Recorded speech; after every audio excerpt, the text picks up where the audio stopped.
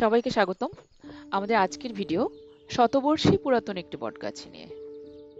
আশুলিয়াতে বর্ণচ্ছটা রিসোর্টের ভিতরে এই বটগাছটি আপনারা দেখতে পাবেন। বটগাছ আসলে আদিমতম বৃক্ষ। এই জন্যই শত সহস্র বছর ধরে এই বটগাছ হচ্ছে বাংলা অঞ্চলের ঐতিহ্য। এখানে সন্ধ্যা ছটার মধ্যে পিকনিক স্পটটা একরকম হবে এই বট গাছটা মানে কতদিন পুরনো এটা? এই বট গাছ গাছটা হচ্ছে একশো বছরের উপরে পুরনো বট গাছ এখানে কি কোনো পূজা অর্চনা হয়? এরকম কিছু? মানে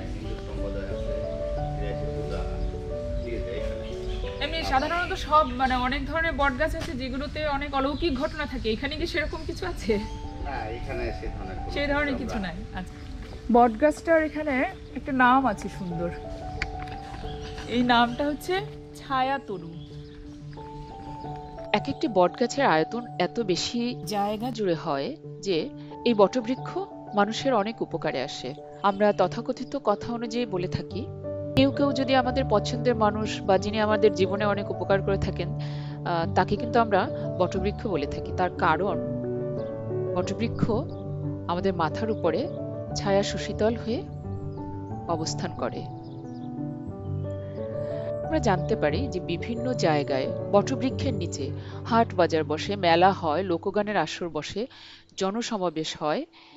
গ্রামাঞ্চলের বড় বড় হলরুমগুলো হয়তো নেই, কিন্তু একটা বটগাছের নিচে অনেক ধরনের কার্যক্রম চলতে থাকে। কেউ কেউ এই বটবৃক্ষকে দেবদেবী জ্ঞানে পুজো করে থাকেন। এটাকে আসলে পবিত্র গাছ হিসেবেও বিবেচনা করা হয়। অনেক জায়গায় মন্দির বানানো হয়। আমরা বটগাছের কিছু গুণাগুণ নিয়ে কথা বলতে পারি যদি। জানা যায় বটগাছের আঠা দিয়ে এক রকমের রাবার তৈরি করা হয়। পা ফাটা সারায় এর আঠা। বটের ছাল দেহের মেদ কমায়।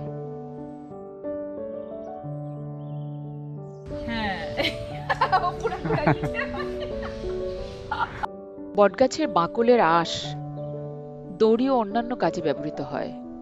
বটগাছের পাতা কুষ্ঠরোগে ভীষণ উপকারী। আশা করি আপনাদের ভিডিওটি ভালো লেগেছে। খুব ছোট্ট করে বটগাছ সম্পর্কে আমার ভালো লাগাটা এই ভিডিওতে দেখানোর চেষ্টা করলাম।